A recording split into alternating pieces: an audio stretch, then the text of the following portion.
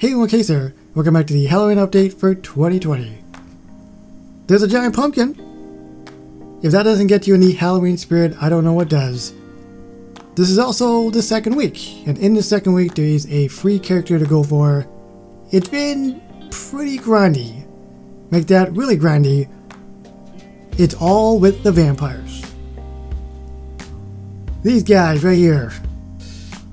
I'm so sick of looking at you because they've got 12 health, but then there's only one character that can really do it unless you buy the premium character. So it's just been Stiffman, and if I can't crit them, it's only 4 attack every time. So it would take 3 battles to get the vampire down. The thing is, they can usually one-shot you. So when it's all said and done, you're looking at 21 hours, sometimes, to take down a vampire. And there's just been too many vampires to take down. On the bright note, it is now only two bats instead of three, so they did a, a hot fix for that. Blah. Well, actually, first of all, let me show you my mats. Everything is absolutely complete. Except for one more of the candy coated popcorn. It's going to be 18 clams, and I'm going to skip it. I've had enough.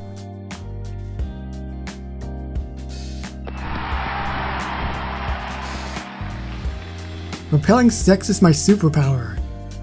Jock Neil.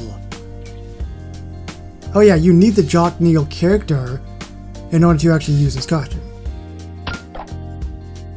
Two more to go. Feline Ruth, which is available in the mystery box for the second week, and then Stewie, I guess, next week. I time jumped two years, and I'm still a boy virgin. I was supposed to be boy man. You're really bad at coming up with superhero names. That's because I'm too busy thinking about trying to get laid. What's wrong with Boy Man? Everything. Speaking of Jock Neil, there's supposed to be a parody of Jughead Jones from Riverdale. Oh no, my body's caught in endless time jumps. I'm 26 and still a virgin. It's hard to lose your virginity, man. We should make a pact to not lose our virginity until for sure it's the right time. Like, we're 100% sure it's not icky and we don't have a headache and we're caught up on our TV. Fix the table. What a weird, what a weird quest. It's a one hour quest. We've also got look at magazine centerfold, which is four hours, play handheld console, rage quit a video game, spy neighbors, and buy blow up doll, which apparently is a chicken. Of course, it would have to be Neil that does that. Or Quagmire. Quest line, I have to do the magazine, but I don't want to do that. So we got the table here, and we've got Kleenex and lotion. I thought he to use an actual hammer and try to fix a table. Either way, that's not what I was really expecting. I guess when they say fix table, they mean... Decorate it? Oh, what was the quest? Hold on. Oh, remove all the tissues. And I saw the hammer, and that's what threw me off.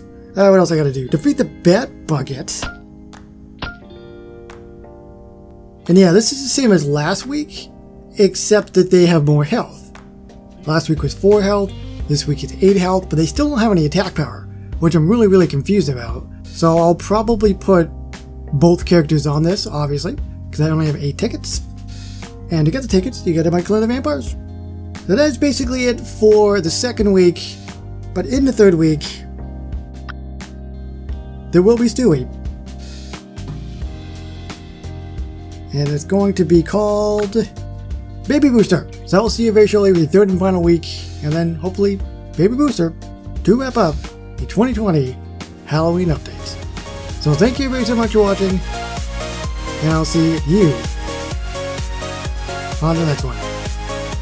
Bye bye everybody.